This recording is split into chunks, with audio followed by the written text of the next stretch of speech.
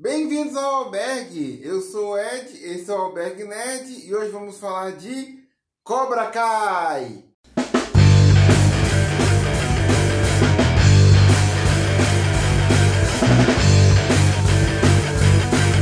Albergue Nerd! Primeiramente, quero lembrar, se ainda não são inscritos no canal, para se inscreverem, ativem o sino das notificações para não perder nenhuma atualização e, claro, curtir e compartilhar esse vídeo. Karate Kid é um filme clássico dos anos 80, tão marcante e fez tanto sucesso que rendeu três continuações e um remake. A cena mais lembrada do primeiro filme é aquela onde o herói Daniel LaRusso chuta a cara do vilão Johnny Lawrence, vencendo assim o campeonato de karatê. O que aconteceria se esses personagens voltassem mais de 30 anos depois em uma nova história? E se dessa vez nós víssemos o ponto de vista do vilão e víssemos que ele não é tão vilão assim? Essa é a premissa de Cobra Kai, uma série que originalmente era do serviço YouTube Red e foi comprada pela Netflix recentemente. No primeiro Karate Kid, Daniel LaRusso, vivido pelo ator Ralph Macchio, é um adolescente recém-chegado em uma nova cidade e começa a sofrer bullying dos valentões do lugar. Esses valentões, liderados por Johnny Lawrence, interpretado pelo ator William Zabka, são todos alunos de karatê do dojo Cobra Kai. Por causa disso, Daniel acaba recorrendo a um vizinho, o Sr. Miyagi, vivido pelo saudoso Pet Morita, que começa a ensinar a ele karatê de uma maneira bem pouco usual. O ápice do filme é a luta entre Daniel e Johnny na final do campeonato de karatê, onde o primeiro dá o clássico golpe da garça e conquista o título de campeão. A partir daqui que começa Cobra Kai, que espertamente abre o seu primeiro episódio com essa luta.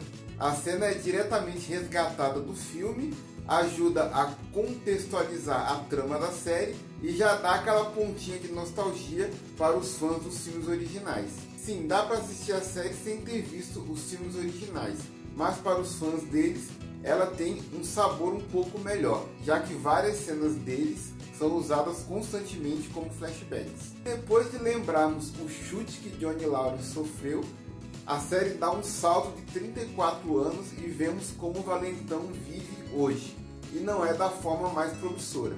Trabalhando em subemprego, bebendo bastante, morando num bairro pobre, a situação não está nada fácil para o Johnny. E ao mesmo tempo ele se ressente do sucesso de Daniel Larusso, agora dono de uma concessionária, bem sucedido, casado e pai de família e usando a fama adquirida no karatê nos seus comerciais. Sem perspectiva, Johnny acaba redescobrindo o karatê quando salva um jovem de um grupo de valentões. E ele então resolve reabrir o seu dojo, o Cobra Kai. Quando descobre que o dojo que tanto perseguiu na adolescência está de volta, Daniel então resolve acabar com ele, pois teme que a filosofia agressiva do Cobra Kai possa ser danosa aos alunos que forem estudar karatê lá. Ralph Macchio e William Zabka estão de volta aos papéis que os consagraram nos anos 80, e ambos estão bem em seus respectivos personagens. Johnny é aquele cara que parou no tempo. Ele nunca superou a derrota que sofreu na luta do primeiro filme, nunca esqueceu a ex-namorada que se tornou o namorado do Daniel na época e nem se adaptou às novas tecnologias e à evolução de pensamento dos novos tempos. Falando nas novas tecnologias, ele tentando aprender a mexer em notebook, smartphone, acessar a internet, são momentos bem divertidos da série. Já Daniel seguiu em frente, ele está casado e bem casado e não é com a namorada da época do colégio, tem os seus filhos, se relaciona bem com eles, o seu negócio prosperando, enfim, está vivendo a sua vida, mas quando o Cobra Kai retorna, o Daniel parece que se transforma, mostrando que alguns traumas do passado ainda o incomodam. Se eu parasse o vídeo por aqui, pareceria que a série é uma continuação direta de Karate Kid, mostrando o retorno do vilão, treinando uma nova geração e o herói tendo que lidar com esse problema. Mas o grande charme da série, é por isso que ela chama Cobra Kai e não Karate Kid, é que nós conhecemos o ponto de vista do Johnny Lawrence. Ele é o protagonista dessa história, o que deixa tudo em áreas mais cinzentas. Por exemplo, o primeiro aluno dele no dojo é Miguel Dias, visto pelo ator Cholo Mariduena. Ele sofria bullying na escola de um grupo de valentões. E Johnny, além de o salvar, o ensina a se defender. Não parece uma inversão interessante? O Miguel lembra o jovem Daniel. E o Johnny agora faz as vezes de Sr. Miyagi, sendo o sensei que ensina o rapaz a se defender dos valentões. Mas claro que o Johnny está longe do equilíbrio e da serenidade do velho sensei de Daniel tendo um estilo muito mais durão e agressivo de ensinar. Mas a reabertura do Cobra Kai é uma segunda chance do Johnny dar certo. E apesar dos pesares, ele está disposto a aprender e evoluir. Tanto que, apesar do estilo mais agressivo, ele está disposto a fazer diferente do que lhe foi ensinado, colocando valores como honra e até mesmo compaixão. Além da redenção que vemos Johnny conquistando, temos alguns vislumbres da sua vida. A relação complicada com o padrasto, a perda da mãe e a relação conturbada que ele tem com o filho Rob, que é vivido pelo ator Tanner Buchanan. E o próprio treinamento que ele tem com o sensei original do Cobra Kai ajuda a dar uma profundidade maior do que um simples valentão do primeiro filme e com certeza, se for revisto agora, nós vamos ter um novo olhar sobre aquela história. Inclusive com o ponto de vista dele sobre várias coisas do filme. Sobre o fato do Daniel ter batido primeiro, ter molhado ele no banheiro e o próprio golpe da garça, que seria um golpe ilegal no karatê. Esse é um detalhe bacana. Uns anos atrás surgiu esse debate sobre Karate Kid que o golpe clássico que deu a vitória ao Daniel, na verdade estaria fora das regras e num torneio real o teria desclassificado. Isso é abordado na série em um ótimo diálogo. Falando no Daniel, enquanto Cobra Kai limpa a imagem do Johnny Lawrence, ela suja um pouco a do herói de Karate Kid. Não que ele seja vilanizado, de forma alguma, mas quando ele vê o retorno de um algoz da sua adolescência, ele resolve lutar com todas as suas forças para que o dojo do Cobra Kai deixe de existir. Isso o faz ter algumas atitudes um tanto questionáveis, como a manobra que ele faz com o dono dos imóveis no local onde o Cobra Kai fica e até a alfinetada gratuita que ele dá na propaganda do seu próprio dojo. Além de a certa altura ele começar a negligenciar a sua empresa e o seu casamento em prol da rivalidade com Johnny Lawrence. Mas esse acaba sendo o grande cerne da história. Ela transforma a rivalidade de Johnny Lawrence e Daniel LaRusso não num embate entre vilão e herói, mas em uma rivalidade entre duas pessoas, que não são nem heróis nem vilões. São pessoas com seus erros, seus acertos, que poderiam até resolver suas diferenças se parassem para conversar e em alguns momentos até chegam perto disso, mas acabam se desentendendo novamente por teimosia, por ego, enfim, pessoas. E essa rivalidade se estende aos alunos de ambos os dojos, Cobra Kai e Miyagi-Do, numa crescente ao longo da história que culmina no final da segunda temporada.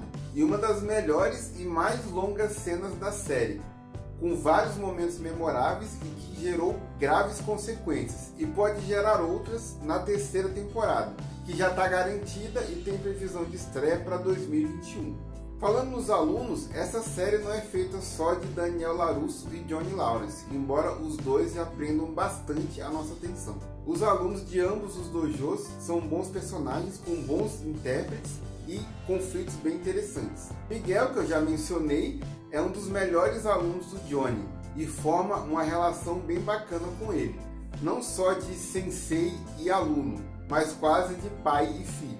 Ele é um bom personagem, um rapaz de boa índole, mas que tem os seus momentos mais violentos, principalmente quando está adepto ao lado mais agressivo do Cobra Kai, mostrando que uma filosofia muito agressiva, sem um contraponto, pode transformar até os mais bondosos em potenciais valentões. Isso me faz gostar do personagem Falcão, interpretado pelo ator Jacob Bertrand, um amigo de Miguel que tem lábio leporino e sofria muito bullying na escola, pessoalmente e pela internet. No Cobra Kai, ele acaba abraçando a filosofia mais agressiva possível, tornando-se tão ruim quanto os valentões que o perseguiam talvez até pior. Uma boa amostra do que o bullying pode causar numa pessoa. Outra que sofria bullying é Aisha, vivida pela atriz Nicole Brown, que por si só já representa uma mudança de postura, já que antes mulheres não eram permitidas no dojo do Cobra Kai. Gosto da personagem, ela tem bastante carisma e usa os ensinamentos de uma maneira mais positiva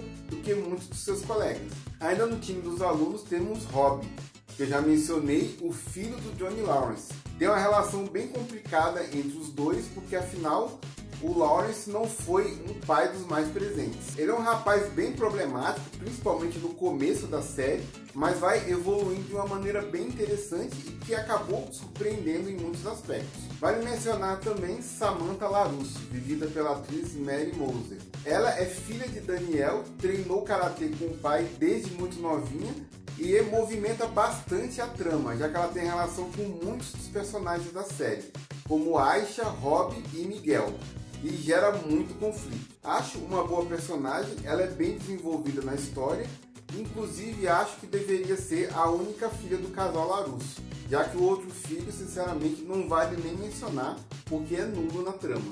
Já que eu falei do casal Larusso, temos também Amanda Larusso, vivida pela atriz Courtney Hindley. Ela é esposa do Daniel, uma mulher bem resolvida e que faz questão de apontar quando a rivalidade do marido está passando dos limites. Por fim, não posso esquecer de falar do papel dos senseis de Daniel e Johnny, o senhor Miyagi e John Chris, respectivamente. O primeiro, infelizmente, não está presente fisicamente por causa do falecimento de Pat Morita, mas é presença constante nos flashbacks e pensamentos de Daniel e a série honra muito esse personagem. Já Chris está de volta novamente na pele do ator Martin Cole e a influência dele é sentida ao longo de toda a série do pior jeito possível. E ele promete ter muito mais participação na terceira temporada. Então é isso, Cobra Kai tem duas temporadas na Netflix. Torço para que a terceira mantenha a qualidade, honrando os filmes originais, mas trazendo bastante profundidade aos personagens mostrando que pessoas e histórias podem mudar e evoluir. Curtam o vídeo, compartilhem, se inscrevam no canal se ainda não são inscritos. Não se esqueçam das redes sociais, Albeck72, Instagram, Twitter e Facebook. Sigam e curtam a gente lá. Nos vemos no próximo vídeo e que a força esteja com vocês.